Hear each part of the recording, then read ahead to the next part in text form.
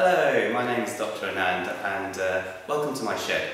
Now I love 3D printing, I haven't taken alginate impression for a long time, but the problem with 3D printing of models, dental models with SLA resin printing, is that they come out of the printer covered in resin and it's a multi-step process to clean it all up before you can use it.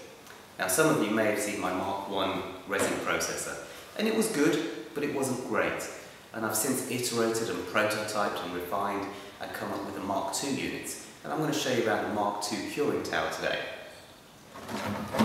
It's really easy to use.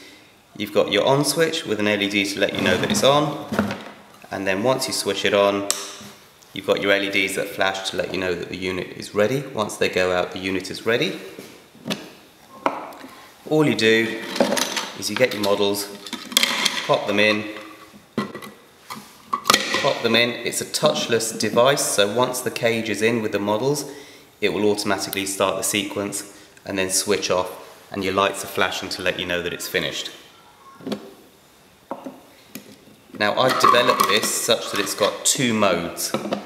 You can either have a fast curing cycle or if you want you can have an extended curing cycle. You might want to use an extended curing cycle with resins that are going to go in the patient's mouth for instance. So in the extended cycle, again, same thing, pop it in and it takes a little bit longer.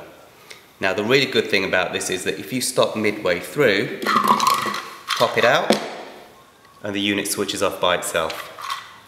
Resets, pop it back in, and it starts again from scratch.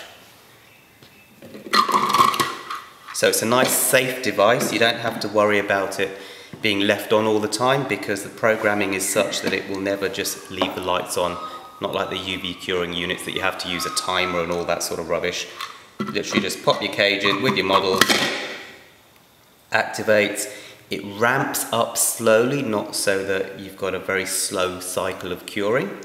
And then at the end of, end of curing, it ramps down again as well. Now these are just demo cycles, which is why it's so quick.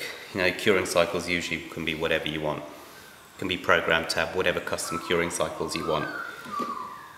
So looking inside the unit, you can see why it's different from the other curing units on the market. It's because of the sheer number of LEDs that I've got going on in here.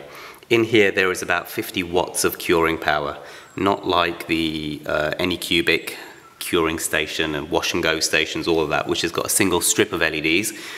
This has got, well, there's almost five meters worth of LEDs in here. And you can see once the cage goes in, there's a sensor and it automatically starts the curing and as soon as I lift it, it stops. Down again, and it starts. So thanks for watching guys, uh, hope you found it interesting and um, happy printing!